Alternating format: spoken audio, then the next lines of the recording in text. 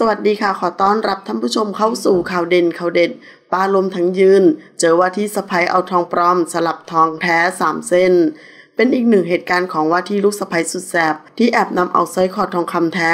น้ำหนัก 3 บาท ออกไปแล้วนำทองปลอมมาใส่แทน และยังเอาบัตร ATM แอบไปกดเงิน โดยเมื่อวันที่ 21 มีนาคม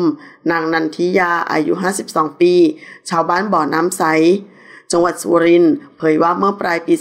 2565 ลูกชายของตนเอง ได้ไปมีแฟนที่รู้จักกันทางเฟซบุ๊กชื่อนางสาววีรวันอายุประมาณ 33 ปี และได้เข้ามาอยู่ภายในบ้านประมาณ 7 เดือน หลังจากนั้นได้นำบัตร ATM ของตนเองที่เก็บไว้ภายในห้องนอน ในตู้เสื้อผ้า ซึ่งได้หายไป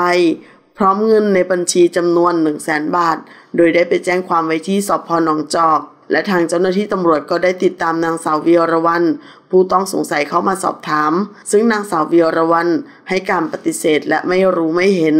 นอกจากจะเป็นบัตร ATM ของตนเองที่หายไปแล้ว ยังนำเอาสร้อยคอทองคำแท้ ที่ถูกซ่อนไว้ในกระเป๋าตู้เสื้อผ้าจำนวน 3 เส้นไปขาย